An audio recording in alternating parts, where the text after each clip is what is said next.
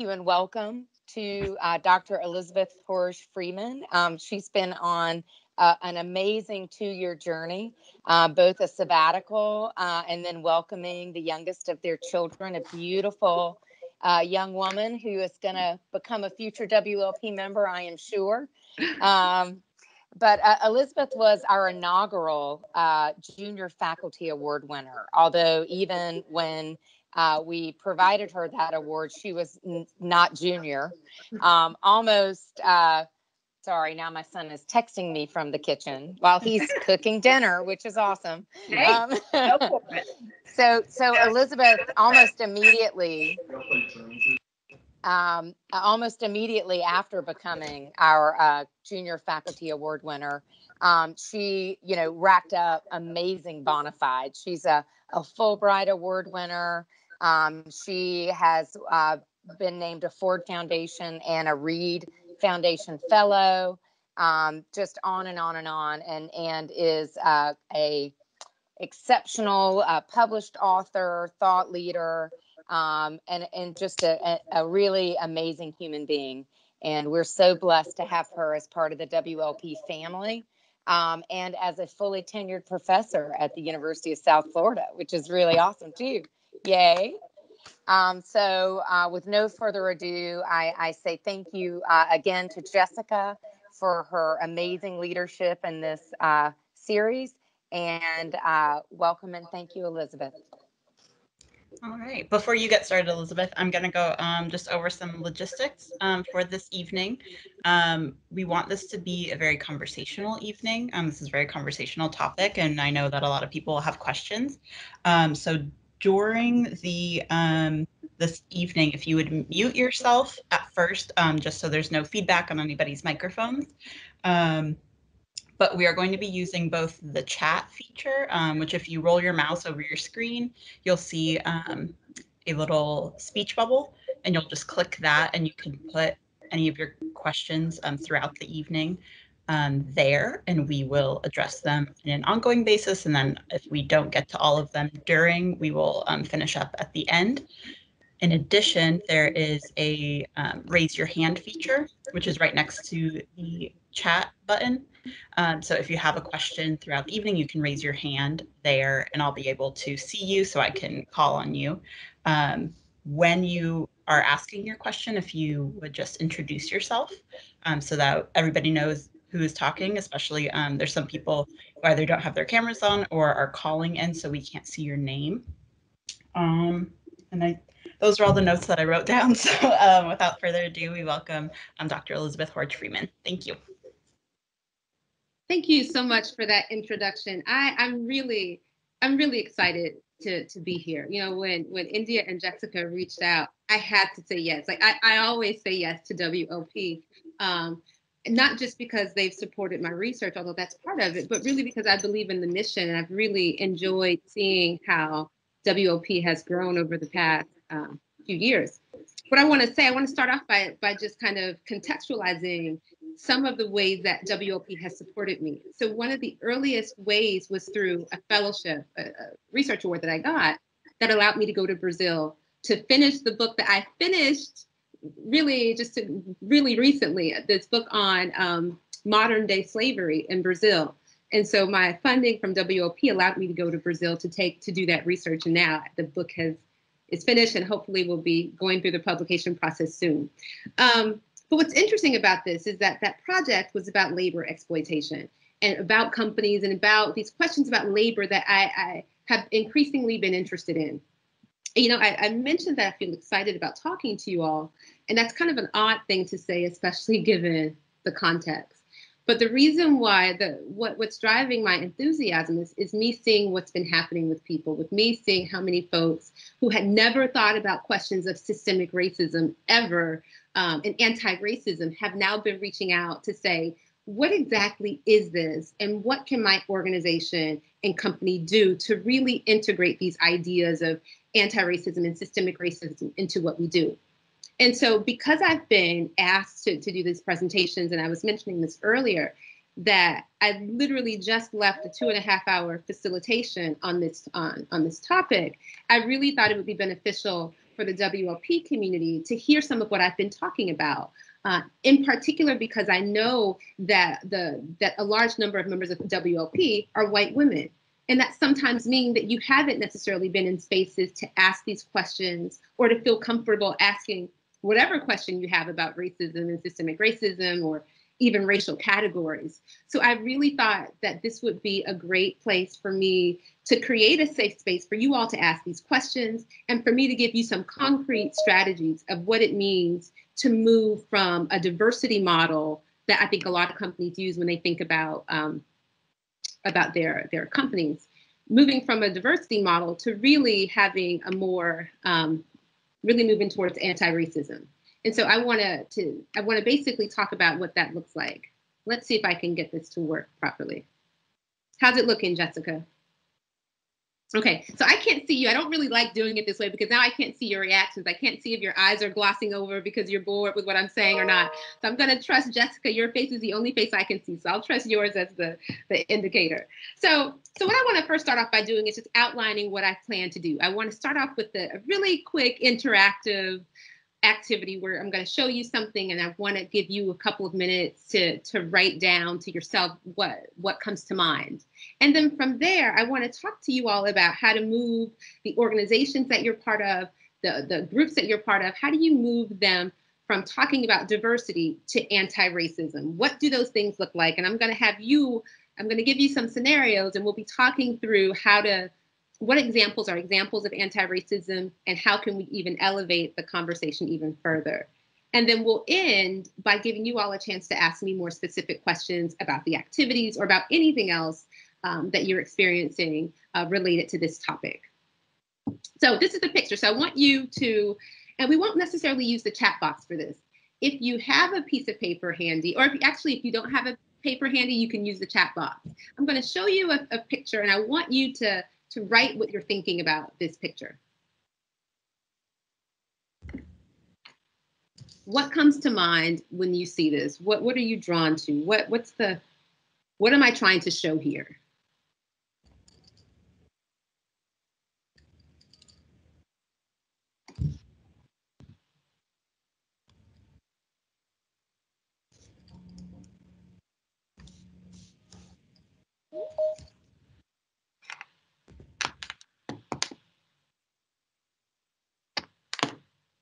Oh, love. I'm this is great. I can use my phone. I can see you all typing things in.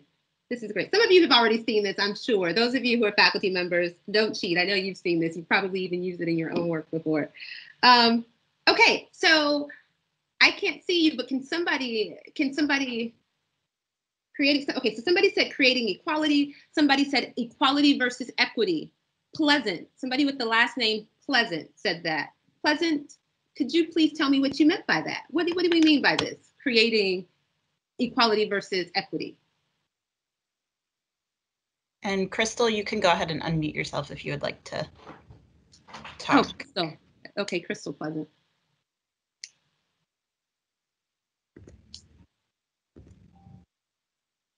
Or you can type it in the chat if you want to. Or, or anybody else. Oh, Crystal says she's trying to, but her network um, is having poor quality right now. Sorry, Crystal, if you want to type, that's okay, and I can read it out. Can you hear me okay? I can.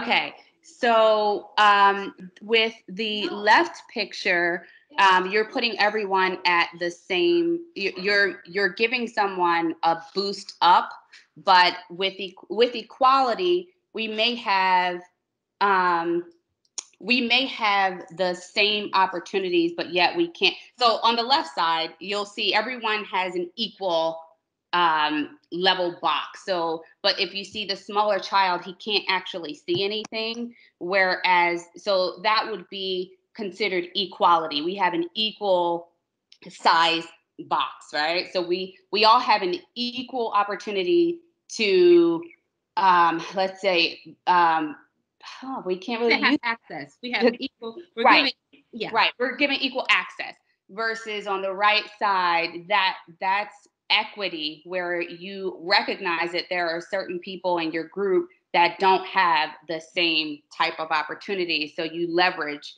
to meet people where they are And so that's where we are with equity.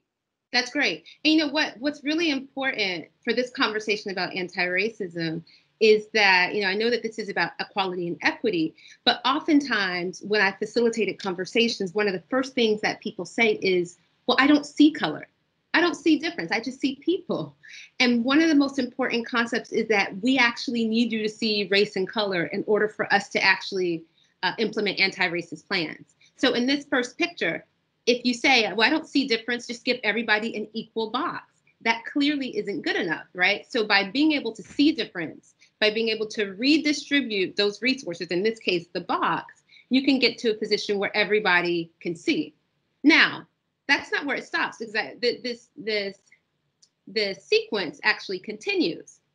So I want you all to think about what this shows. And in the in the chat box, tell me your impressions of what I'm trying to show here with this third image. What is this progression showing? Participation. Oh, somebody said participation. I like that. What removal, else? Removal of barriers. Remover, removal of barriers. Exactly. Somebody said this is where we want to be. Yes, this is where we want to be. Let's see. With the heart added to that. So this is where we want to be because so often what we've been thinking about is how can we work, how can we create this workaround systemic racism if we're talking about racism? What can we do to get around this? And ideally, we really want to shift how we're thinking about this altogether. We want to talk about action items that, yes, end up redistributing resources, but ultimately the goal is to dismantle systemic racism. So, in this conversation about anti racism, essentially the main point is that I want you all I want us to have a conversation about how the policies, the practices in your companies or organizations can move us forward to, to address some of the immediate concerns, but with the long-term goal of really eliminating systemic racism. And so that, that's exactly what these pictures are showing. Now, I'm, I'm using this word systemic racism, and what has become apparent to me when I give these facilitations is that folks aren't totally sure what I mean when I say racism. We have broad understandings of what it means when when, some, when we say racism, and I'm not going to go into all the iterations of it, but I think that it's important for this conversation for us to le- to at least break down what we think about as individual forms of racism and then systemic forms of racism. So, so generally speaking, when people think about racism, they often immediately go to these interpersonal relationships. They think about stereotypes and prejudice and how all of these lead to discrimination, right? And what we know, if we step back a little bit, is that stereotypes, of course, exist about things beyond race and racism. Um, but for racism, people often immediately go to the one on one to one. I'm not racist because I don't use derogatory terms to, to talk to people. Um, and that's certainly an example of interpersonal racism. And this matters. This matters in terms of the types of cultures that you're producing in an organization or a, a company. But what increasingly um, has been on the minds of, of folks these days is moving away from talking about just interpersonal person to person, one on one type of uh, discrimination or, or, or, bad treatment, and really moving towards thinking about systemic racism. So I'm going to say some things here that might make people feel uncomfortable, right? Uh, when I when I do these presentations, depending on how often you've been in conversations about this, some of this can be surprising, uh, or people people have a, a, visceral reaction to me explaining what systemic racism is. And I want you to embrace the discomfort to be able to hear um, what I'm saying about systemic racism. So when we talk about systemic racism, we move beyond the one person to one person model and we think about how policies, practices, rules, and the norms that really uh, drive our society, well, they're embedded in all of our major social institutions. These practices, policies, rules, and norms are have been established in a way that cumulatively benefit white people and those perceived as white. Now this is huge. When I when I get to this point in these presentations, folks are like, "Wait, what? I'm I'm, getting these advantages. I'm you're saying that white people are privileged." Yes, that that's exactly what racism means. That whiteness is at the center of this. We're talking about not only just a hierarchy where where white people are advantaged, but we're talking about uh, an entire system. All of our social institutions have been designed with the benefit of white people in mind. So when I'm talking to companies or organizations, the first thing that I say is that we need to look at the practices. the policies. Many of them look on the surface to be uh, non-racial, but there's some taken for granted assumptions that shape them that end up uh, reproducing systemic racism. The other thing I want to mention is that um, in conversations about uh, white privilege and whiteness, in, in the past conversations that I've had, sometimes companies don't quite know what to do with how where Latinos where Latinos fall, right? You know, there's a concern that we're talking too much about race and we're not talking about Latinos. I think it's important to remember that those folks who are who are categorized as Latinos or Hispanics, that's actually an ethnicity, right? Within that ethnic category are different racial groups, right? So Black people who are Latinos in many ways face some of the same barriers that we see if we're talking about Black folks who are not Latinos. Um, so being able to talk about white privilege, white supremacy, which is a gross, a gross word, a really difficult term for people to come to grips with, but we really have to be able to center that and understand that to be able to move forward in an organization in ways that, that help us to disrupt that. Now, speaking of disrupting that, the, the first thing that I want you to do, I, have mentioned individual or interpersonal relate, or racism and systemic racism. So our activity right now will be for you to look at three examples that I'm going to give you, and you're basically going to tell me using the chat what which which of these are uh, individual and which of these are systemic examples. So in your chat box, you might say A dot I or S, individual or systemic. So I'm going to give you all a couple of minutes to just do A. So A is an example of what? In Florida, Black women make on average 62 cents for every dollar paid to a white man. Is that individual racism or is that systemic racism? Three people have, oh, four people have answered. I'm going to give you all a couple of seconds for that. All right, this is this is a, in a, a unanimous. Can anybody explain why is this systemic and not individual? How do we understand that? This is Marcia. It's because it's general. It's it's a group of of people who happen to be black women that we're talking about. So it's overall the community. Right. This is this is considering what's happening to Black women across organizations. This is not just a one-on-one. One person is mean to the other person. Great. Let's go to B. The white owner of company X refuses to mentor any Black or Latino employees. Individual or systemic?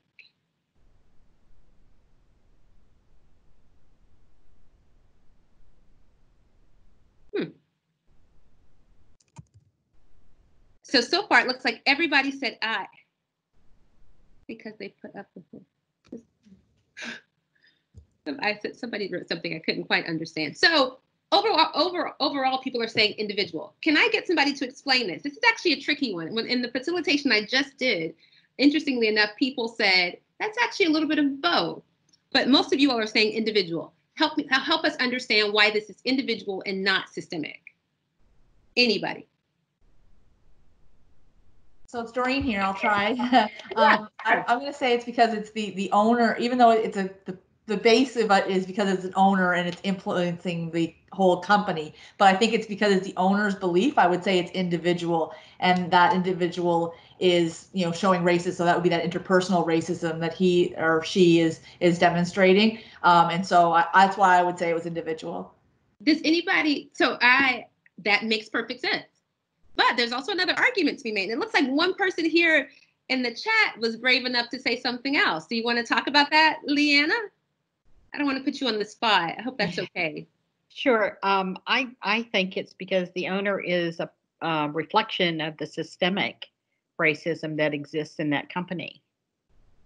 So what's interesting about this one, when I wrote this, I, I wrote it to mean individual. That was what I had in mind. However, I think an argument could be made. What what folks were saying is that if we recognize that this doesn't just happen with company X, that there's actually a history of lots of other companies doing the same thing, not providing mentorship opportunities for Black and Latino employees, then we can see it as systemic.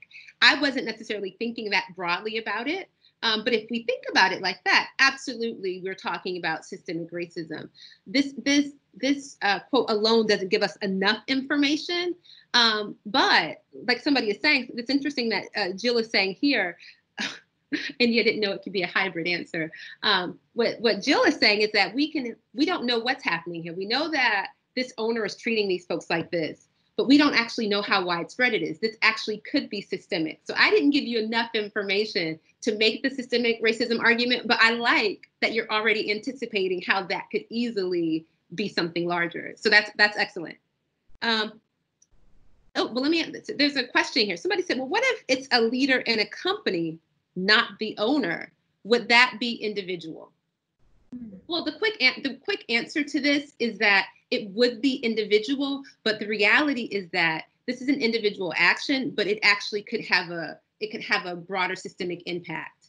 But when we talk about systemic racism, we're actually not just talking about one company or organization. We're talking about patterns of discrimination um, and ways that organizations outside of just one reproduces that. But an argument could absolutely be made for that. An, an argument could be made that within this institution, there's a systemic, there's a systemic racism problem that that extends from this question of mentorship. Last but not least, C, Natalie, a teacher does not read emails from Black parents because she says, well, they only complain. Individual or systemic? C, individual or systemic? Oh, folks are getting a little bit more complicated here. People are saying both. Okay. Oh, is that Darlene? I'm looking at my cell phone, Darlene. I think I saw your name here. I'm here. Hello, Darlene. um, India just said she's a dreadful person. Okay, not you, Darlene. um, so there, there's some there's some variety here. Somebody who selected both. Tell us why you would say both. Anybody who said both. There, are, there are lots of folks who said both. Anybody want to take a stab at this? This is Marsha. I'll take a stab. Well, Okay. individually being Natalie, because she's the teacher, she is individually racist uh, Exactly. against the black parents. But I also think that it's systemic because of her beliefs that it's the parents being plural that it becomes systemic. Thank you. So I, what I'm hearing folks do, and I, I like this. I think folks are are using information beyond what I'm giving them to think about what the implications of this behavior could be. So Natalie and herself, she's exhibiting a type of individual racism. But if we take this further, and if we understand that there are broader broader patterns and ideas, stereotypes, and prejudices about Black parents, and we think about the fact that it might not just be Natalie who's doing this, then if we think more broadly like that, we can easily see how this has the potential to be systemic. But with the information that we have, if we didn't know anything else, this would be an example of individual racism. But it's great to be able to link individual racism to the potential to become uh, systemic or to be connected to systemic racism. Now, why is this important, right? You know, we we can differentiate between individual and systemic racism. Why is it important, and what can we do about it? Well, it's important uh, understanding these distinctions. Oh, understanding these distinctions uh, is important because oftentimes companies and organizations aren't necessarily prioritizing this question of racism, systemic or individual. What typically happens is that companies and organizations are using this traditional model called the diversity model. It's all about the numbers. Let's up the number of people who we hire for staff and leadership. Let's look at our numbers. What percentage is Black? What percentage is, is Asian? What percentage is white? Let's look at that. Let's increase the representation in publications and materials, put some brown faces here and there. Um, let's target more of these uh, groups to be clients. And this sounds, some of you are thinking, yeah, well, this is exactly what you're supposed to do. What's wrong with this? This is, this is good. This is not bad. But we need to go beyond this if we're trying to be anti-racist, right? This is this is baby step one. But there are also some other problems with using a diversity model that I want to tell you about because I think it's likely that some of you may have that model in your own companies or organizations. So sometimes when we use the notion of diversity, companies use that as a way to not speak about racism. It's a strategic way to avoid talking about racism because we can talk about gender instead. We can talk about LGBT issues, we can talk about disabilities, but we're going to put racism on the back burner. And let me just say, talking about race, gender, uh, LGBT issues and disabilities, those are critical issues. The argument isn't that they're not critical, it's that companies strategically use them as a way to avoid talking about racism. And they can use the diversity label to do that. Sometimes with the diversity model, you also end up having these superficial gestures. So I mentioned having a few black and brown people in the newspaper or in your, your ads. Well, money that's spent on that superficial publicity could actually be redirected to projects that would have a more substantial impact. And even this question of hiring more Black employees in particular can be a problem because the diversity model really cares more about the present, the, the number. It doesn't really, it's not as concerned about retention, about people's actual experiences in the organizations and companies where they've been hired. And, and that's a problem. And then lastly, when you have this diversity, this diversity model, uh, often that comes along with very sporadic diversity training. So you might have a, a diversity training once or um, once a year, once every three years. But what we know about these trainings is that that's not enough. Um, they, they actually have to be consistent and they have to happen much more often than once a year to make a difference. Now, let's step back because some of you are thinking, wow, I thought I was doing okay with my diversity model. Uh, we see lots of faces here. We like the diversity. I'm not saying that diversity is bad. What I'm saying is that this is an opportunity to elevate things, right? We're talking about anti racism here. We're not just talking about diversity. And the reason why that's important is because what we know is that in a racist society, it's not enough to be non racist we must be anti-racist. It's not enough just to have uh, people's faces there. We actually need to be actively involved in efforts to dismantle racism, to disrupt racism. So when we talk about anti-racism, we're not just talking about being nice, showing some people in some brochures. We're saying let's dismantle for, for the sake of that, to bring in that that that visual that we had. Let's dismantle that gate that's separating people. That's what we're ultimately trying to do. And to do that requires a level of personal accountability. So you can't be passive. So a person who's non-racist is non-racist is passive. They'll say, um, "Well, I didn't treat that person unfairly." Yeah, but you didn't say anything when somebody else was doing it, and you were right there. Right. So it's about taking a much more active role rather than a passive role. Um, it, this also goes back to actually seeing race and color in order to be able to actively combat racism. So there's a tendency in the US, there's actually a concept called colorblind racism that describes the tendency, particularly uh, white people's tendency to, to, to believe that if they don't see color or don't see race, that that's a good thing. But in fact, that actually, that doesn't move things forward. It actually makes it very difficult to confront real differences that are caused by systemic racism. And then lastly, when we're talking about anti-racism, we're talking about power and resources. And so as you're thinking about this presentation and thinking, does my organization, is my organization anti-racist or not? One of the ways that you can think about this is how are the how is power distributed? Who has the resources? Who decides where the resources go? These are some of the critical questions that I think will, will allow you to think through whether or not your organization is doing a good job at being uh, anti-racist. Now, of course, I'm a faculty member, so you know I have to ask you some questions and give you more examples to to make sure you understand the bottom line here. So I'm going to have you go back to your chat. Number one, here's an example. I want you to tell me if the person is non-racist or if the act is non-racist or anti-racist. So starting with number one, the person says, I don't ever use racially derogatory terms to describe people of color. They never use those words. Is that non-racist or N or anti-racist A? I don't ever use racially derogatory words to describe people of color. I'm just looking at people submit. Okay. People are in agreement on this one. It's pretty, it's pretty unanimous here. Can somebody explain how we, if this is non-racist, why is it non-racist? Can anybody explain why this is non-racist?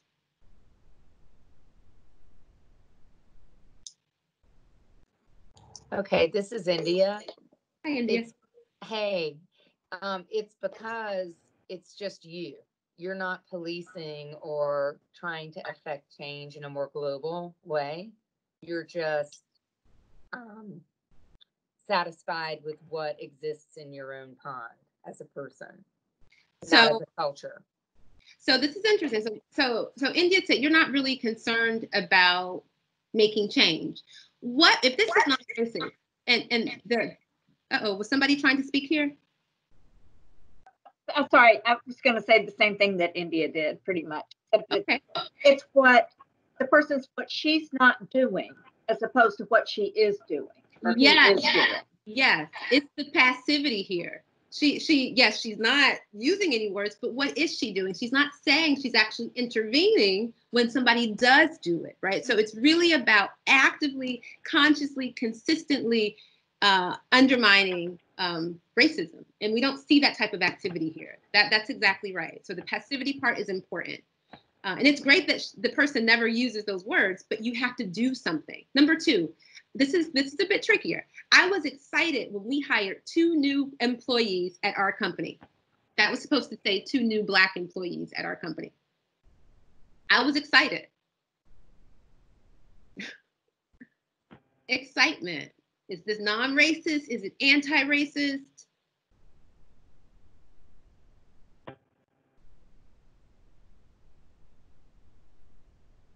Nine. Okay, people are saying nine. So somebody who said nine, how could we elevate this to be anti-racist? What would an anti-racist response be more like? Anybody who, who believes that this is non-racist, how can this be elevated to be anti-racism? The person Doreen here. I was, uh, it's Doreen here. I was just gonna say that if it was that we reviewed our policies and we changed our recruitment and hiring strategy, then that would be anti-racist because we're doing something to actually look at the process as opposed to just looking to check that we've had an increase in numbers. Exactly. okay, so they changed the policy and then they hired somebody. How can we take anti-racism to the next level here? What, how can we elevate this even further? That's not necessarily for you to answer, unless you unless you like No, to. no, it's great because it's it's true. It's asking to keep on going for the why, right? We have to keep on going uh, deeper, but and maybe it's looking at how do we ensure that we're inclusive and and you had mentioned the retention, right? So if we had to change the policy to have someone come into our organization, how do we have to change the policy to have them stay with our organization? Yeah. How do we take it even further? There's another level here. Now, okay, that's not necessarily for you though, but there's another level here. So how do we get them to stay? Okay, I like the direction. There's another level here. What's the other level? I'm gonna I'm gonna chime in. Okay. Um, this is Jessica Brasseur. Um, but I think um, because we don't know who this person is that is excited about um, hiring ah, new Black people, we don't know if they're in leadership. We don't know if um, they're a coworker of these two new hires. Um, so I think it's it's going out of your way to be welcoming and to to understanding um, how they are adjusting to this new company, um, how they are being acquainted within the company and understanding that, and then also listening. If there is a problem, then the person who is excited can be an ally and can speak with them um, and for them in a space where they might not be represented.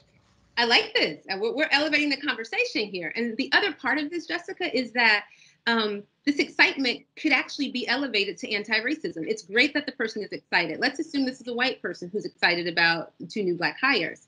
Um, one of the things that you said is that you can help them become more acclimated to the company culture, but that might also mean that you introduce them to people in your network, right? It means that you actually bring them in in substantial ways and not just a hello goodbye but you really go the extra mile to really make sure that this person is is incorporated especially given what we know about um, access to networks and how racism shapes access to network.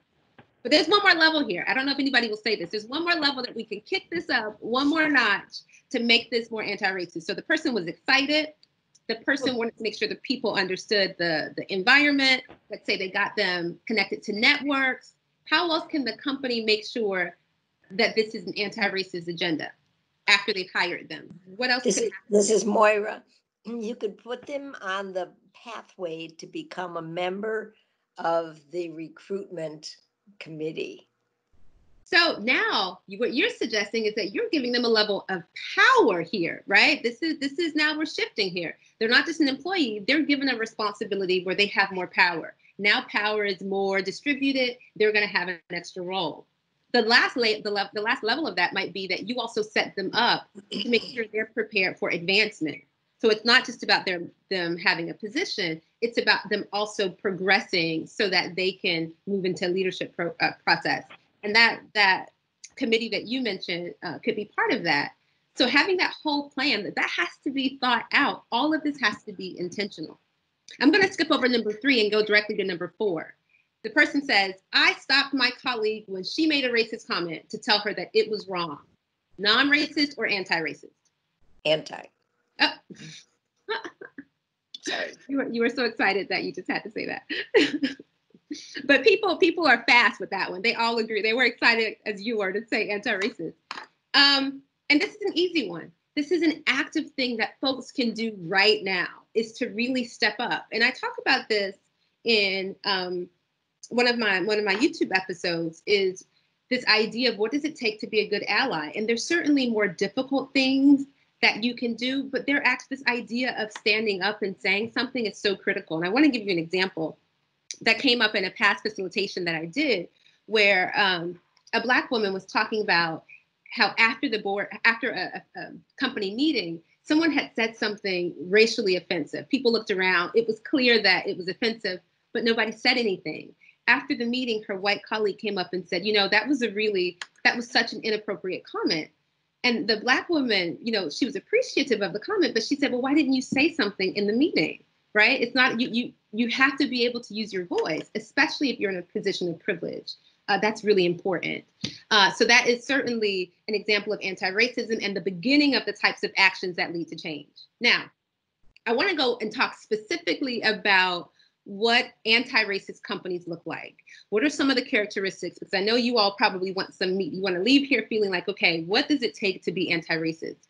An anti-racist organization has a clear and consistent message and anti-racism is part of that. It's not a, a, side thing off the side that we also do some of that. They center the importance of anti-racism and they are constantly reinforcing that message through everything that they do. Uh, they're also really transparent. So what that means is that companies on the road to anti-racism, they sometimes engage in what's called a racial audit. They want to find out who, where our staff, um, how does racism shape uh, who, who we hire, how long people stay, how quickly they advance, how much they make in salaries, how they feel about the, the, the climate.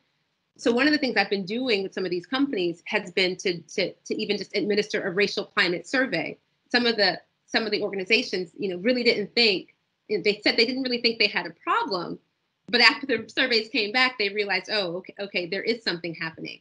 So companies who are serious about being anti-racism, yes, they do that climate survey, but they go even further by really conducting a serious audit um, of how racism, how systemic racism is impacting a number of processes. Um, the other thing that they do is that they still engage in education. I mentioned those diversity trainings, but an anti-racist company doesn't just do it once a year or even twice a year. They're very consistent about doing it numerous times. And not only do they do that, but they are also tracking whether or not the trainings are effective. Are these things worthwhile? Do people see the value?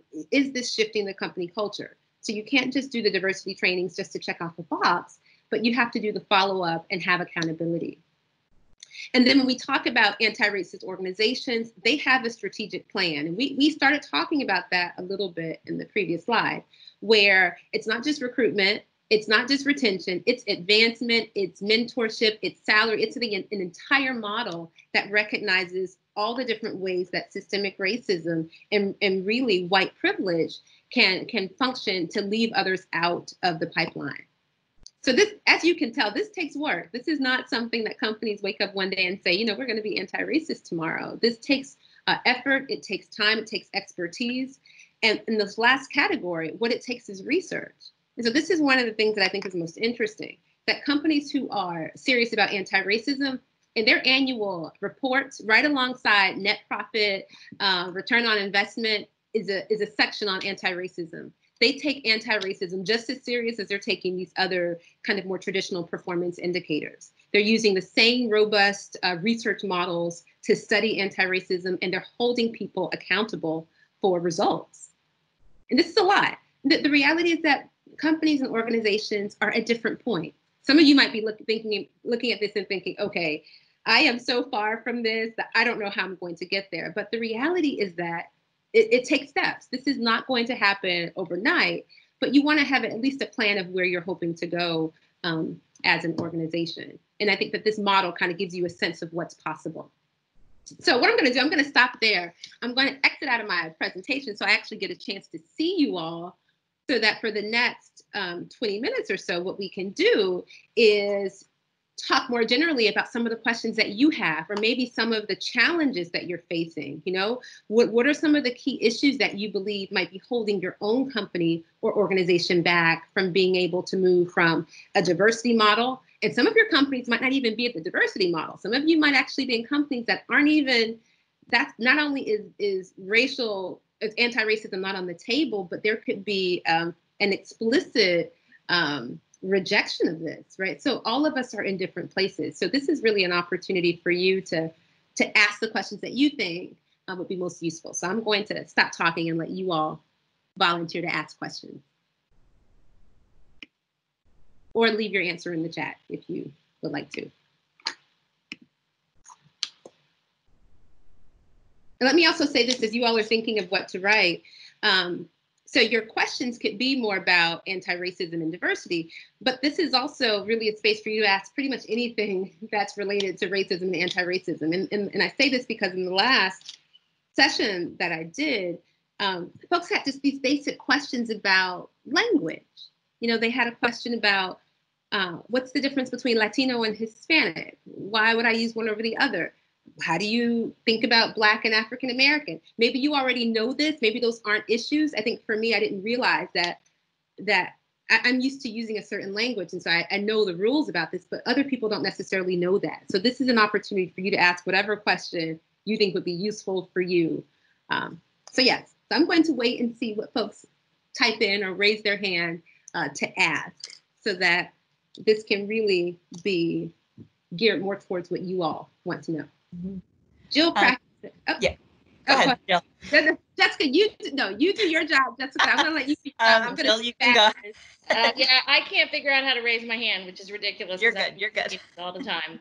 Um, I just was real curious. I'm I'm a member of a couple of different organizations, but uh, my first thought, and it may be beyond the conversation here, but is the university. Are there examples of universities that are doing this kind of thing? I know we've asked for audits and that kind of stuff, but I'm thinking about their reporting and their accountability. And I would love to see for my own organizations I'm involved with, um, what that audit looks like. I'm not right now. You don't have to go into all of that, but you know, I wanted to follow up with you in email. I'd love to see that. So that's that's my question. Yeah, you know, so this is a really great question. It's something that I'm in particularly interested in uh, as it relates to just thinking about USF and, and, what what's our step ahead. There are actually several universities that, in response to various incidents on campus, created different positions to, to deal with this question. You have campuses that have now associate vice pro- presidents of diversity, inclusion, and equity, for example. You have special assistants to the president and provost who work on these issues. What's been really interesting is that um, the response is really quite varied, and what those different organizations, what those different bodies do uh, varies. But what we actually, what I think is interesting is to think about where USF is. I mean, just as an example, since I know more about USF, um, we actually do have an Office of Institutional Equity. They released a report um, but I think the question is what happens when that report is released? Who, who's actually over making sure that we've actually met our goals? And I think that that's often the disconnect. People know we need to collect the data. Um, and it's just, and universities actually have to report on this data. But I think the next step is let's step back and analyze whether or not we're making the progress that we'd like to see hold ourselves accountable with some metrics. And if we're not, let's be proactive at changing our policies and procedures. So I think a lot of universities are on the right track, especially with some of these new positions. But we really, we're not really seeing the type of, um, they're not really, I don't think that they're usually, they're leveraging the data that they have to do what they could do to track and to implement policies. Um, and let me let me I know I'm speaking very generally. There are some other universities, and I've actually started looking at some of these that I think have a really interesting model. Um, I was looking the other day at the University of Iowa. That was that was interesting to me because they ended up creating a position in response to Black faculty who had said, you know, what is happening here? What's happening with the students? What's what's happening with the faculty? Um, and so I think that you have several models of what universities are doing um, but it's sometimes difficult to know the extent of their racial audit because that's usually not as publicized as the general overview of what's happening at a university. But there's certainly a model in terms of what what should be what should be assessed, what what what's reasonable in terms of expectations. That is there, and there there are workshops that people have organized for that particular purpose. So we can, but we can certainly talk more offline on that. So you can, if you want more information, definitely uh, send me a message. I'll. I think Jessica has already distributed my email, but certainly feel free to email me. Thank you very much. Um, and then Marcia um, will be next. Marcia, you can go ahead. Hi, can you hear me? Uh-huh. Okay, Yes. sorry. So I, you were talking about what language or what's the difference between African American and Black. And, uh, you know, when this first whole um, Black Lives Matter after um, George had passed away, um, I I was one of those people who just didn't know what to say or what to do. So I found just as a reference was um, Emmanuel Acho um, had done the uncomfortable conversation with a black man. Black man, yeah. And I thought that was so well done. I only saw the first two and I need to go back because I think he does it on a weekly basis. But I thought that was so superb when he it, tried to explain it to white people. Yeah, no, I, I think that, I mean, this is what's been really interesting, and really, which is why I wanted to do this, is because um, I've gotten so many messages and emails, and, and the reality is, and I, I talk about this a bit on, the on the, the YouTube channel. In some ways, I, I make fun a bit of, of my some of my white colleagues, and I say, you know, you you've reached out to me and you've said these things, isn't it really problematic? And I love you, and I know you mean well, but but stop. Um, but I think it's also at the end, I talk about the fact that I have to also be patient for a lot of these folks who have never had to confront thinking about racism or thinking about their own whiteness. It's actually unrealistic for me to think that they know what to say or that they're going to say the right thing. And I think that uh, part of what part of what excites what excites me about you all being here is that what I see is this interest in learning more, this willingness to say, you know what, I, I don't have the answers to this maybe that's actually something I should know, I should have known, but I didn't. And that we have to we have to meet we have to meet people where they are. Um, and I think if watching that series is helpful, that's great. If reading um, Robin DiAngelo's White Fragility is beneficial, I think actually it really is a great baby step number one for understanding a lot of concepts. That's great. Um, but what I think needs to happen, and this is where people get tripped up, is that we have to move from the education piece to the action. Action, What yeah. does this look like practically at my organization? And Right. this is the piece that concerns me because I see the interest, I see the desire to pick up and watch the videos, but we need to elevate the conversation so that we can translate that into practice. And so I- that that's been uh, that that's been even with those videos, it, it's really alluring because you feel like you're learning a lot, and you are. But we just have to make sure we're, we're moving it forward. So I appreciate your comment. Thank you for that. Thank you. And then um, Leanna, if you want to um, ask your question, or I can ask it for you. She asks, um, do students play any role in the university's audit? That's an interesting question. So, what typically happens is that the role that the students play is sometimes um, at the stage when the university does a, a racial climate survey, right? They want to make sure they understand how, let, let's use Black students. Black students are, are experiencing campus life.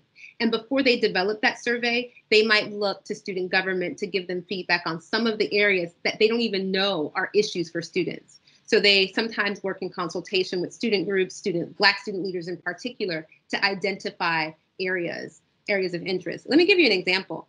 And you know, it- it's I think I can say this. So I so I have several PhD students, and one of them is a Black man.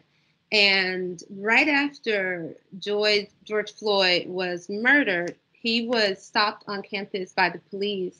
Uh, had a dog search his car and was put into handcuffs in the back of a police car on campus at USF during a quarantine. Um, and I was so upset by this, right? I, I was so upset, and I, I think what, what's important, the, the point that I want to say about this is that sometimes these things seem like they're so far away, right? And I, I'm a sociologist. I study this. I know they're not far away, but it even recognizing that it still was painful to hear him go through that, right? And I, I so I, I say all of that to say students have a very interesting experience on campuses. I mean, that's just one element because once once he started talking about that, that actually led to other things that I didn't know as a Black faculty member that this Black man who's a student is facing. So I say all that to say having student input is absolutely essential. Having input from staff is essential. You know, we sometimes really value what faculty have to say, right? We're considered the experts. And we do study this, we do research this, but I think that there's so, there's so much value and and really having an audit that benefits from the input of so many people in different places and that's sometimes missing in, in racial audits thank you for your question leanna that was a good one Um, and Mindy, you can go ahead with your question. So I I started this uh, about seven minutes into it because I thought now that I was a Teams expert, but clearly I wasn't. So I was having Teams challenges. that Um, so I missed uh, your intro, which might have answered this question, but uh, we are actually actively trying to find someone to do some consulting with uh, the organization I run, uh, the Spring of Tampa Bay. And so I'm just wondering if you do consulting. Yeah, I think you did miss that part. What I was saying is I had Yeah. literally just hung up with the consulting gig right before this. Oh, Um. This has been so. Yes, I do. Okay. Okay. Yes, but you know, let me let me also say this. Um, you, you should probably contact me soon if you'd like to to talk because this has been very busy. I'm going to leave it at Okay. that. I will contact you very soon then. Thank Okay. you. Sounds good. Yes, you're welcome. And actually, I mean, I, the the spring is, is has a particular interest to me uh, uh, in the sense that I'm interested in violence against women, human trafficking. So there's a lot that I'd have to say that I'd be interested in saying and contributing to any type of analysis that highlights the importance of anti-racism. That's actually it's it's it's um, it's interesting that you're saying this because one of my next episodes will be about anti-racism and human trafficking, um, which might seem disparate, but there's some concerns about people's unwillingness to talk about racism and human trafficking. And Right. but that's a different story. I won't even get into that, but I, I feel very passionately about that. And I see the Springs mission is very closely tied to, to what I do. So do reach out to me, Mindy. Okay. Thank you. Appreciate it. Sure, sure. Excellent. Other questions? there any other questions? Or comments? Well, so I have a question for folks then, since you all don't have questions for me. So one of the things that I was talking about is how do you move ahead? And so I want to put some pressure on folks to, to start thinking about this, to saying out loud where you even think you might go next, right? All of you are probably part of organizations. I know you are. You're even, even if you're not part of organizations, you have families. This isn't just a, a university company thing. What, when we're talking about uh, systemic racism, we're basically saying every part of your life you need to evaluate and think about how systemic racism has shaped that. That's huge. I mean, this is this is why I also understand how it's scary, how this really uh, leads to lots of uncomfortable emotions because it's it's a big ask. And so I, I want to hear more from you all about what, what do you think? What are you going to do with this? What's the first step for you all? What what steps have you made already, and then realize that wasn't the right first step? Because sometimes it's also helpful to to be vulnerable and say, you know, I tried to do this, realized it didn't go well. So I'm I'm wanting to hear more from you all, if you're interested in sharing that.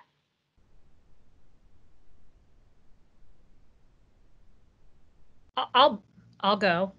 Okay. Um, so I have uh, a son, wonderful kid. Um, I'm divorced. My ex family is a little uh, far right, um, and so I have regular challenging conversations with my 21 year old, you know, white son about the fact that um, what he hears from his other side of his family um, isn't accurate. And those are tough conversations to have, uh, but I consistently have them with him in hopes of him eventually understanding uh, the privilege that he enjoys as a white male, uh, even though you know he's being told that he he doesn't have it um, or that it's being taken away from him. So, you know, you start with one person and then you expand outward. So, and it's the shame of my life that I can't that I've got a son who who who who is hearing those beliefs from the other side of his family and and embracing them a little bit. I have the same problem in my family. My sister married a person who's far right, and we I I've been staying away from the house because every time I say don't say that in front of me, I'm not going to tolerate it. He says it's my house, get out, you know. And I'm just I, I know that there's a division, and I just don't know, so I just stay away from it. I'm not going to be part of it. You know, this is this is a really interesting topic because one of the things that I've, I've talked about is that being anti-racist means that you're risking something. One of the things that you're going to risk and sometimes have to lose are relationships. And this is when I say this is the big ask, uh, we're talking about if, if you're if you're committed to anti-racism, you literally can't stand to be around this, right? This this this hurts you to hear this stuff. And so this is it's difficult because people also have the realities of wanting to keep their families together, wanting to have the life that they imagine, which includes Uncle Bob and Uncle Joe, even if they're the ones who are who are who, who are spouting things that aren't true. Um, and this is something that somebody in the box has said. What what I think is important is that you're pushing back on this. Is, is that you're not remaining silent and i think as a mom i've actually read some really interesting articles from white from white moms in particular that talk about how they have to balance how much pressure to exert because sometimes pushing back could actually lead them to go even further down. And so there's a whole negotiation of how much do I say? Eh, do I stop him every time he says something? And the reality is that we have to make these decisions, and it actually can be counterproductive to respond every time, right? And so, so this is a process, it's a negotiation that doesn't have simple answers, but what we do know is that it does need to be consistent. Consistent doesn't mean every time it happens, but it means that um, this person is clear, not only that you disagree, but you're able to articulate why what they're saying is wrong. And that sometimes is also a challenge. People know that doesn't quite sound right, but they can't really articulate how do I explain why what he just said is problematic. And so that sometimes requires you to go back and do more work to educate yourself and prepare for that. And this is a lot, right? So this is this is labor. Um, when we're talking about families, those are the people who are typically closest to us. And when we're talking about a son, that's hard um, because you also want to be around. You don't want him to disown you, right? But then you also want him to want him to be able to respect people. Um, so that's a challenge. That's a challenge that doesn't have clear answers yet. But I think you're you're in the right direction. I think you're doing what you need to do, which is I, I think good. I see some questions here in this box. Yes. I want to make sure we answer. Um, Catherine um, asks, can you please provide examples on how organizations um, can measure the diversity training effectiveness? Yeah, no, this is really good. So let me let me first say that people are actually afraid to do this, right? So so in the past, what's happened is that companies they get their diversity training, they check off the box, let's not look back, right? But they weren't really invested in that, right? So if we think about this methodically, you need to have a pre-test done, you need to have a pre-survey done, it needs to be a thorough one, and then you need to follow up with people who've been involved in that training uh, pretty often, not just at the end of the year, but pretty often because what we find, what research finds, is that a lot of the the diversity training, the implicit bias work, it's great for two weeks, right? People actually have to be reminded of this you can imagine we are constantly getting images and messages from all over. So the, the challenge will be, and I think companies are still struggling with this, quite frankly, is to create some type of way to provide people with this consistent anti-racist messaging, but also in a way that doesn't overwhelm them, right? How do we create this so that people are also not like, oh, another anti-racist thing again? You know, so that this is a there's a there's a fine line. But one of the first ways to do that is to do this. This is the standard thing to do. This pre-test and this post-test and uh, test or uh, surveys that happen along the way much more often than they're being done now. Um, you might even start three months out. If you can't do weeks out, it might be a month, it might be three months out, but something more that gives you a sense of how what's happening to people as time progresses. What are they taking from the the diversity training?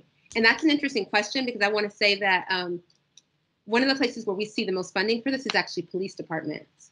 And we have some disturbing findings that these trainings aren't doing what they say they're supposed to do. That a lot of times police officers are doing the training again as a checkbox, and they have a whole discourse. There, there's a whole culture of making fun of the fact that they have to go, and they're not taking it seriously. And this is clearly a problem for the very issue we're talking about in terms of Black Lives Matter. So if your company is struggling with that, it's it's because they're folks are still figuring out how to do that. but I think that they haven't been ha- they haven't had to be held accountable for this, so they haven't really invested the time necessary to do the follow up. So thank you for your question. Um, Darlene, maybe if you want to come on and clarify a little bit. Um, she asks, is it compounded when you are a female and black? Oh, is what compounded? The answer is probably yes. But Yeah. Darlene, do you want to chime in? I'm just wondering, with all of the police and all of that, you see a lot of aggression toward black men. And that that just makes me wonder if racism is a different experience for females and males. Absolutely. And but it's different in a way that you might not imagine, right? Because what's interesting is that there's a whole movement about the fact that what's happening to black men, women are black women are also dying at the hands of police officers, and there's a politics in the black community that actually devalues that. That that actually we don't get as outraged when black women die. There, there's a whole movement within Black Lives Matter. The founders actually said we we started as queer black women, but somehow queer black women are now erased. And this is something that we've seen historically, where you have black men ending up being the representation of the race, right? So black women we support. Our issues sometimes get raised, but not really. Um, so I so to answer your question, it is a different experience, but but in ways that you wouldn't expect. So the type of walking down the street and being viewed as a threat, that's less likely to happen uh, as a as a black woman in, in the same way that black men are. An even better example, I don't feel afraid driving to campus late at night to pick something up I do not allow my husband to leave the house and go to campus at night. It, it's just not going to happen. And if, when he does, I'm, I'm nervous, right? He doesn't feel that way for me because it's a different experience. Um, and we see this, Darlene, you find this interesting because of your interest in education. I did an episode on this where we see the criminality of Black people experienced differently. And we see this in schools where Black girls, for example, are 5.5 times more likely to be suspended or expelled when compared to white girls. Um, and we see we see high levels of suspension again this notion of criminalization with kids. But what black girls are suspended for is when they don't act in ways that are considered feminine. And this is where it gets interesting right? If they're talking back too much if they're chewing gum if if they're there's there's a whole performative part here that that black girls get punished by. And and on top of that just in schools and again i'm just saying this because i think you'd be interested in this what we find for black girls in the united states is skin color matters as well in ways that it doesn't matter for black boys so dark skinned black girls are even more punished when they're not abiding by these feminine rules of behavior um, and we, we don't see that happen in schools for black boys but it comes back up in the criminal justice system when we see that how long people are given for sentences skin color plays a part not only does skin color play a part, but your facial features, the more African and black looking you look, the longer sentences you're getting. I mean, it's it's disturbing to, to think about this. But to answer your question, um, we see black men and women disadvantaged at every level, but the way that they're disadvantaged, how they experience their their their race and how they experience their race and gender together are certainly different experiences. Thank you for Thank asking that. Thank you very much. Um, and then Crystal says, um, I struggle with being the sole Black person on the team who wants to see change and wants to educate Oh. without being too pushy or needy. Oh wow, Crystal, I feel your pain. When I when I did the um the the, the YouTube episode on white allies, it was in response to me saying I feel traumatized by what seeing these these these videos of George Floyd. We have to do something. I mean, it's important that we recognize this. And the next email was, we want to make you chair of the diversity committee. We want to make you do this and that. And I, I'm literally saying I can't even function right now. And the next response was, how what can you do for us? And I mean, there were so many levels to that. It felt like I was being dehumanized and exploited and not seen. And at the same time, I knew that if I didn't step up, the statement wasn't going to be the statement that needed to be written. Um, that it would it would have holes in it, and so we had to compromise. I ended up saying, "No, I will. I, you all work on this. Do the work. I will read it and provide you with comments. But really, I, I don't have to be at the center of this. And I think sometimes, Crystal, we have to we have to let white people feel uncomfortable, push them into their discomfort zone, make them do the work. They're going to make mistakes. It's okay. I don't even have the perfect answer. And I think that that's the detail. The, the assumption is that if you're a Black person, you magically have the answers. I mean, I have a PhD, I've studied racism, so it, it, makes sense to ask me to do this. But that's not the case for, for most Black folks. But they're still being asked to, like you, Crystal, are saying, is to kind of step up and solve this, this systemic racism problem. It's completely unfair, it's unrealistic, and it's another form of invisible and usually unpaid labor. Yeah. So, so my, my I definitely I have both sides of that. So one is where I am being asked, though there are individuals that that are wanting to be allies and say, you know, can you help me? Um, so yes, that that part can be uh, a little weighty um, because it's yeah, like you said, we are it's it's traumatic to the point that you know I've definitely tapped into employee assistance to get um, some therapy. Um, so I that's the one side of it, but the other side is where there is deafening silence from from those that I expect to be more open to it. And I'm I'm not a shy person, so I've addressed it with those individuals, but when you get to a certain level like at, at senior leadership level or you know that that's above my pay grade but i still made that conversation the uncomfortable conversation happen, but it's still seriously silent. And so I don't I, have I've suggested webinars and you know I I've put things out there, articles, but I don't know at what point I'm being too much for people that just don't want to deal with it. Yeah, no, this is Crystal. This is this is the issue. This is a fundamental issue. It's it's what all of us are talking about, right? On Facebook, this is what all my friends are talking about. Um, and we're trying to figure out a, a way around this. And in fact, this this idea of what do we do with all of what do we do with all of this was really why was the impetus for me creating the, the, the YouTube channel because in my mind what I wanted to do I thought let me make the videos so that we don't have to keep explaining this. If a white person sees my white allies video, they will get to stop asking your friend. Don't send this email to your friend. Um, and so, so what, what I think we're both saying is how do we how do what do we do so that we're not bearing the the burden and the labor? But how can we also ensure that things get done? How can we speak up? And and do we speak up when it could mean that we move from what's called the, the office pet to the office threat? And let, let me explain this. I think this is a really important concept. You know india was very generous in her her uh, introduction of me and, and the accolades and things like that. And um, and that's all great. But once you start calling out anti-racism um, all of the awards and the accolades start meaning less and less to people because now I'm a problem. Now I moved from being the pet, the person who gets all the stuff for the department, to being the problem woman who's demanding that we actually act in, uh, aggressively towards anti-racism. She should be grateful that she's here. This is an issue that a lot of us are facing, and I think that Crystal, you do have to be you you do have to be cautious about um, bringing these issues up. You have to kind of weigh whether or not folks are going to be open to it and weigh the risks that again we we we take when we stand up for this. I don't know if you all know this.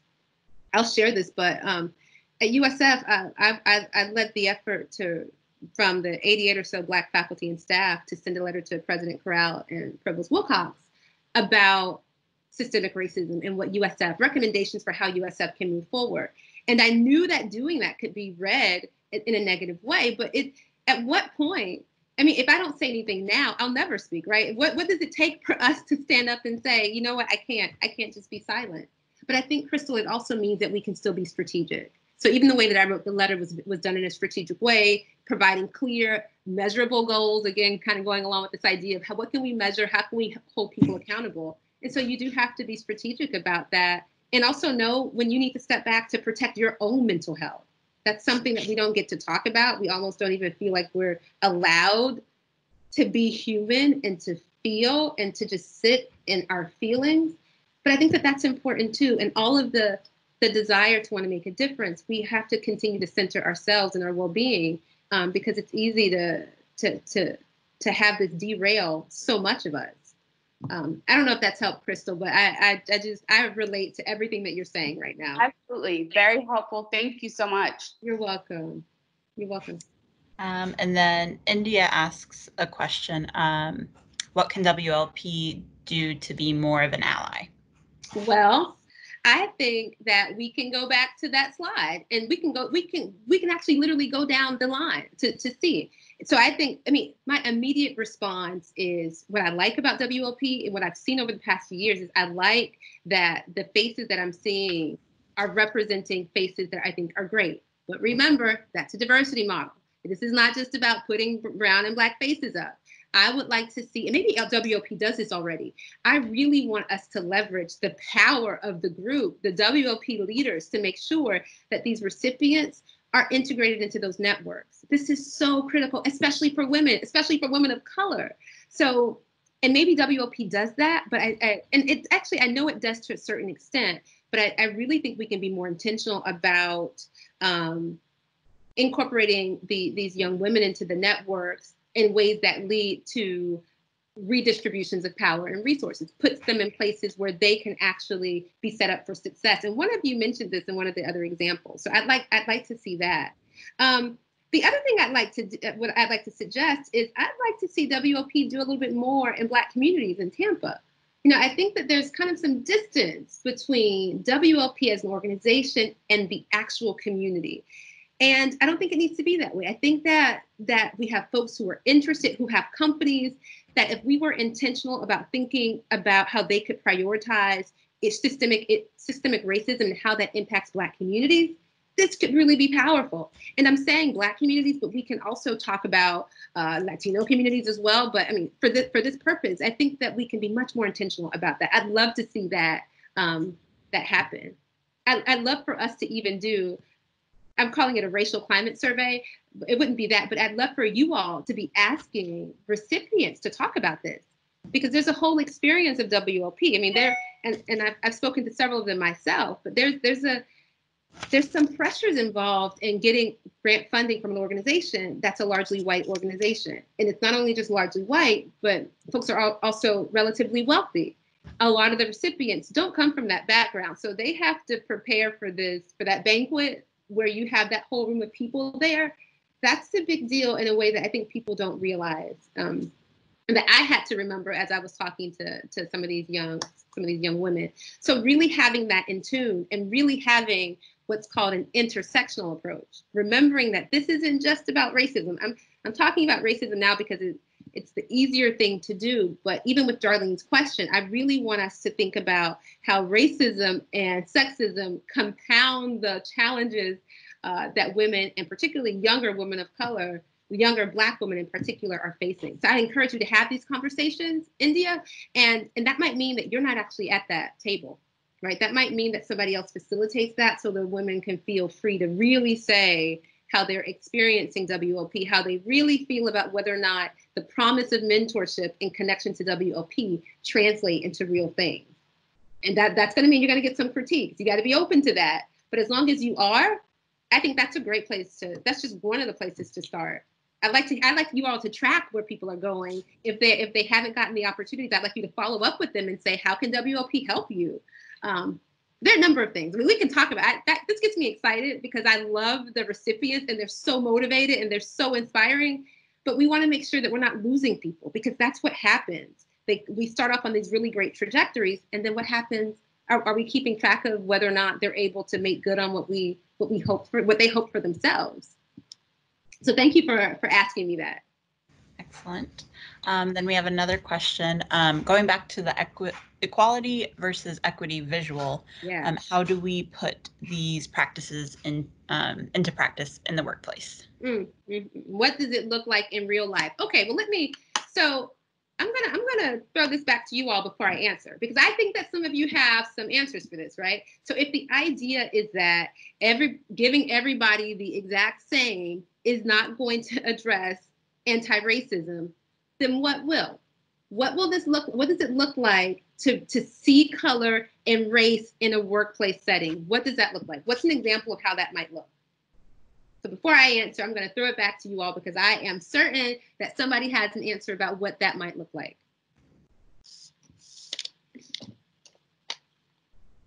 I'll wait.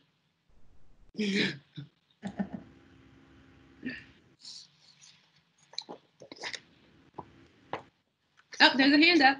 I don't know if that hand is for this answer. So- or not. Yes. Hi, it's Holly. This is my question. So I, I Oh. mean, one idea that popped into my head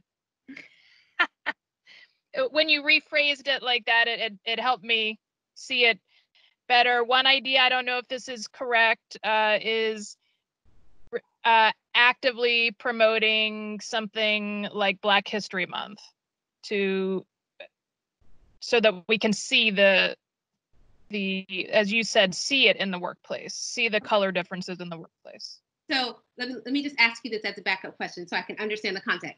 Where do you, like, do you work at a company, a school? And you don't have to say the name. Is it a, is it for profit, nonprofit? Give me a sense of where you're working. sure I work in the hospital Oh, a hospital. Okay, so so group. Um, what was your colleague? Holly is suggesting that hey, one of the things we could do is create Black History Month as a way to be a first step into anti-racism. What's the feedback here? This is a strategy that lots of companies have done. Does it meet the anti-racism model? well i i don't think it's an action in terms of the examples that you gave but i'm i'm one i guess that's my question the examples that you gave are those examples of equality or are those examples of equity the because you gave us a list of examples so, So I, I- see this I, I see that like doing a recognizing black history month is more of a diversity strategy It is. That's right. And and let me just say this: diversity is not bad. So I'm not saying let's take all that stuff out, Right. right? So, but we, we want to. The, the word that I was trying to use is we want to elevate this. So Black history is great. Keep Black history great. But how can we elevate this, right? What can we do? We so we want to celebrate ele- Black history. What, what it sounds like you're saying is that we also want to increase the visibility of successful Black people in this space, right? At, at least that's the that's the idea of it. Um, but remember, if we go beyond just thinking about representation and thinking about power and resources, where might that take us? So instead of Black History Month, might we what what might ha- what what might happen? What else could happen? Black keep Black History Month. Don't don't do away with it. What else might a company do? Uh, well, I, I guess I have to think about what do power resources mean in the workplace. So does it mean sitting on a committee, give, giving someone access to have a voice on a committee?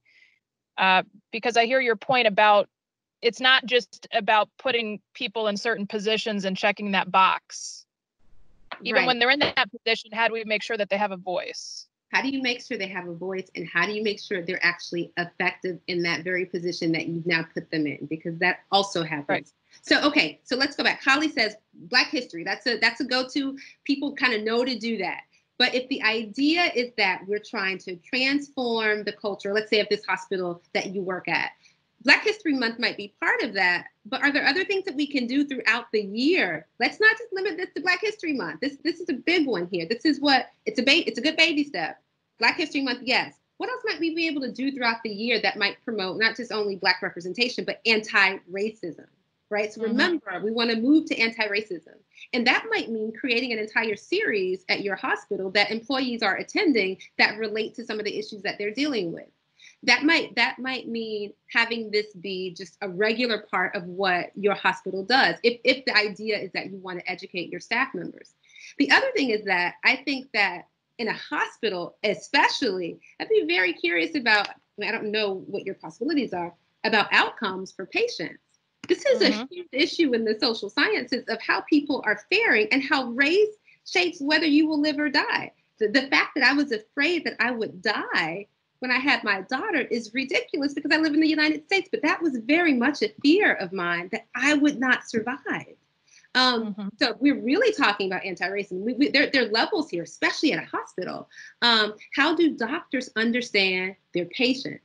I say this because there was a recent study that was showing that um, a significant percentage of, of medical residents believed these racist stereotypes about levels of Black people's pain, the thickness of Black people's skin. These are doctors who believe this. This is really important because this impacts th- what's happening in the hospitals. So I don't know if you want to get that deep, but for a hospital, there are a number of things I could think about in terms of interventions that are anti-racist. Okay, thanks. So I I put my camera on so you can see Oh, me. yes, I can. You're in your But- car. But I'm in the car with a lot of light behind me, um, not driving. Mm-hmm. So we're very fortunate that uh, we have a CEO who believes in this, and we actually are, are hosting a monthly forum, and we started l- a couple of weeks ago. And so that's why I'm, uh, Robin invited me to, to participate on the call tonight. Um, and I and we had a wonderful forum and, and we talked about many of the things that people posted in the, the chat box um, to really hear about the experience of uh, Black women in particular, where it was the overwhelming majority of participants. Yeah.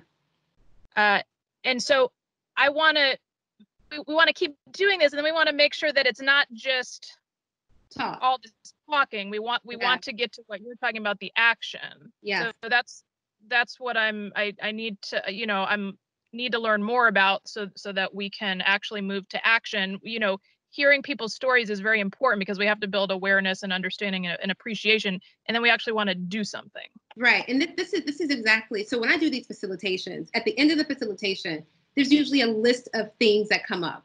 But there's a next step here. The next step is for the leadership team to meet and say, we've now heard what people have to say. What are we prepared to do and invest in to make sure that we can move this from action to from, from idea to action? And so, you know, you ask what ho- hospitals can do, but I really think that what you should do has to be also informed by what people are saying. I mean, I'm telling you about the research that I know. Something else I haven't mentioned is just what it's like to be a Black woman and a nurse in a hospital. Th- There's just so much to say about that. That I mean, that's a whole other conversation we should have. Um, and, and what that means, just so many things that that means. Um, but I think that your actions need to be informed by what by what people are telling you they are experiencing, and by what we know already in the research. So this is sometimes, you know, I companies ask me to come in and I say, you know, what I'm going to do is put together the research that's already been done. I have not conducted this research, but I can find this and I can tell you what the issues are in your industry. You could also do that yourself. Um, and so, really challenging people to say, okay, if we're serious, either hire somebody to do the work, or or or it's not going to happen. And I'm not saying it has to be you to do the to do the job. Uh, it doesn't have to be you, um, Holly. I think it's Holly. Is that right? Yeah. But I, I think making the suggestion that this is worth investing in. This is worth putting aside this pot of money and having this goal at the end of having this consultant work with us to come up with this plan that we then discuss and talk about actionable items. And that doesn't have to take a year. There's some things that can have that have immediate responses. When we when you do these forums, often what happens is that there are at least three things that people that organizations can do immediately that they didn't even think about doing. That needs to happen immediately to be a good show of faith. But then that next step of long-term thinking also needs to happen. But I'm excited that that CEO is invested. The healthcare industry is, is is scary, and it's a place that definitely needs to take more seriously this concern about anti-racism, um, and actually in ways that are beyond what I mentioned. But that for the healthcare industry, I mean, there's some really interesting subtleties about how implicit bias shape what's happening between doctors and nurses, doctors and patients, families and doctors. Oh, yeah. Okay. We yeah. Should talk if you're interested. I'd be interested in talking to you more about what that might look like. Okay, thanks. I know I kind of took over the the past several minutes, so uh, but I just want to say thank you because many of the topics that you that we covered tonight were brought up in the listening forum that we had a couple weeks ago, and and we're administering a survey right now for the participants to find out, you know, what's their feedback, what do they want us to cover in future sessions, and and and uh, like equality versus equity, implicit bias. These Yeah. are things that people suggested. Uh, the the recognizing Black History Month and, and other Yeah. similar months to just Yeah. raise awareness is something else that people have mentioned. So so this is really helpful to kind of bring everything together for me. Yeah, and you know, let me let me also say this this piece about awareness. It's great, but it's also it can also be a trap, right? And the same thing oh. happens with human trafficking. There's so much awareness, so much awareness is mm-hmm. great, people. I love awareness, but really, I mean, at what point we, we know it exists? Can can we let's move to the action meeting, please? And I think that that's what you're saying. You're saying how can we move this on? There needs to be a designated time, a person who's analyzing the data with action plans in mind. And see, I think that Yeah. that's things get lost. It's not enough to collect the data and just think that that's going to translate into action. Somebody needs to to have a dedicated job to do that. Put the resources into having that person do that, or else, or else it just becomes it becomes a fleeting thing. But thank you so much, Holly, for your comment. Welcome. We're on that path, so I'm excited to have Yeah, that's great. validation from you that we're thinking in the right direction. That's Thank right. you. You're welcome. You're welcome. Thank you, Holly. And then we have one from uh, Jill McCracken. Um, she says, for mentorship, um, who is in charge of hiring and supporting employees? Uh, I was referencing the conversation about the hospital, and I just want to say I love your the the the conversation you guys had about outcomes because I think that's so so important. But I was basically just offering some suggestions about mentoring and keeping people around and supporting and hiring practices. So Yeah. And you know, you know, actually, what I what I was thinking, and this is a subtle thing, um, you know, we it, it's we're working on several different layers, right? So we're talking about hiring and retention, but there's also something on the ground that we have to talk about, which is the relationship between doctors and nurses, and the ways that nurses are often uh, viewed as disposable, if, if I'm being frank. And if you're a black nurse, even more so. And so there's some interesting, you know, I'm a sociologist, so maybe you would think I'd be less interested in this, but those interactions matter because they impact the patients. Um, and so I think being able to, to do an analysis, whether it's in the hospital or somewhere else, you might actually have to look at multiple levels to be able to understand the connection between this, what we call the meso layer, the micro level, and the, ma- the macro. Um, so anyhow, thank you for your thank you for your comments, Jill. Thank you, Elizabeth. Um, I don't see any other questions. Does anyone have any last minute questions or comments? This has been really good. Good. I have one last comment. Go ahead. it's happy birthday, Jessica Brasseur. Thank you. Oh, Mwah, mwah, mwah. happy birthday. Happy, happy day. Thank you so That's much. nice. You didn't say that, Jessica. My lips are sealed. It's not my day. This is more important. I happy to share that this day with you then. This is fun. Thank you. All right. I think we can go ahead and wrap it up. I want to thank Elizabeth again um, for dedicating your time. You already said that you were on a two hour call today. Uh, so I really appreciate you spending this time, and I appreciate um, all of the members and guests of members who have joined us um, for this really important conversation. Um, and I hope that these conversations continue and they move from just being conversations to being actionable. So thank you so much for being here. Um, Elizabeth, do you have any last comments you'd like to make? No, you know, this was for me, this was really a pleasure. I, I really feel passionate. I'm increasingly feeling passionately about this uh, because I'm kind of forced to talk about it all the time. But in some ways, it's great because it's the thing I was trained to do. And it's really only now that I feel like people are taking seriously why we spend all this time doing this work and becoming experts in this.